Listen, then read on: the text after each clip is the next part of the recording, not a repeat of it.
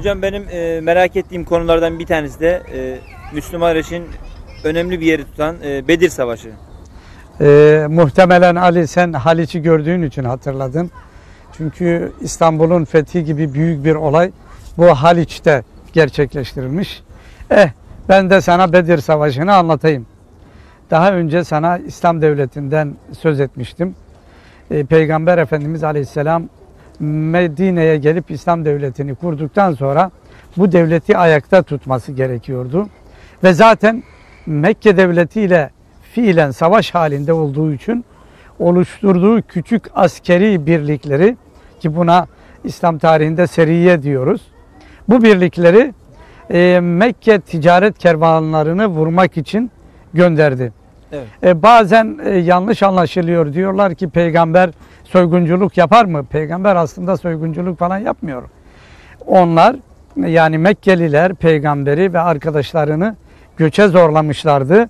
E, bütün malları kalmıştı. Onların kalan mallarıyla ticaret ediyorlar. Kendi mallarını kurtarmaya gidiyorlar. İşte böyle bir e, seriye e, gönderiminden sonra bir sefer Peygamber Efendimiz Aleyhisselam Mekke'den Şam bölgesine büyük bir e, ticaret kervanının gittiğini öğreniyor ve e, bunu takibe koyuluyor. Peygamber Efendimiz Aleyhisselam bu Mekke devletine karşı e, savaşmak gayesiyle değil ama ekonomik açıdan onları e, zayıflatmak ve İslam'ın zaferini elde etmek için seriyeler gönderiyordu. Daha sonra bizzat kendisi bir ordunun başında e, Ebu Süfyan başkanlığındaki e, Mekkeli e, heyetin ticaret kervanını vurmak üzere gitti. Fakat karşısına kervan değil bu sefer ordu çıktı. Mekke ordusu. Ben tabii onun ayrıntılarına girmiyorum çünkü sen biliyorsun sadece Bedir Savaşı ile ilgili bir iki e, konu üzerinde durmak istiyorum. Peygamber Efendimizle Mekke ordusu karşılaşınca bu sefer e, çok enteresan bir e, durum hasıl oldu. Müslümanların sayısı 300, e, berikilerinin tam 3 misli yani e, bin kadar geçiyor. Bunlar savaşıyorlar ve Allahu Teala zaferi peygambere veriyor ve Müslümanlar e, galip geliyorlar. E, Bedir Savaşı'nda çok esir alınıyor. İlk defa esir alınıyor.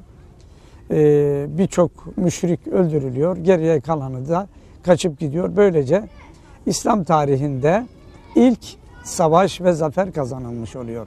Hocam Bedir Savaşı e, o zamanki dünya devletleri açısından önemi nedir? Efendim önemi şudur. E, Bedir Savaşı'na kadar olan dönemde sadece bir peygamber çıktı deniliyor. Mekke'den Medine'ye e, gitmiş. Ama Mekke devletinin organize edilmiş ordusunu yenmesi şu intiba veriyor. Ha demek ki e, Medine'deki İslam devleti güçlü bir devlettir ve bu gerçekten bir peygamberdir ve devletini kurmuştur intibağı oluyor. Bu e, savaştan sonra enteresan bir şey daha var. Peygamber Efendimiz ilk defa esir alıyor. Esirler hakkında da hüküm gelmiş. E, bunları nasıl bırakacak? Diyor ki aranızdan bizim çocuklara okuma yazma öğretenleri biz efendim serbest bırakacağız. Bu şekilde anlaştıktan sonra e, büyük bir zafer coşkusuyla e, Bedir'den e, Medine'ye dönülüyor. Ve biraz önce senin sorduğun gibi bu büyük bir yankı uyandırıyor. Orta Doğu'da, Bizans'ta, İran'da, Yemen'de herkes diyor ki Muhammed'in ordusu Mekke'nin ordusunu yenmiş.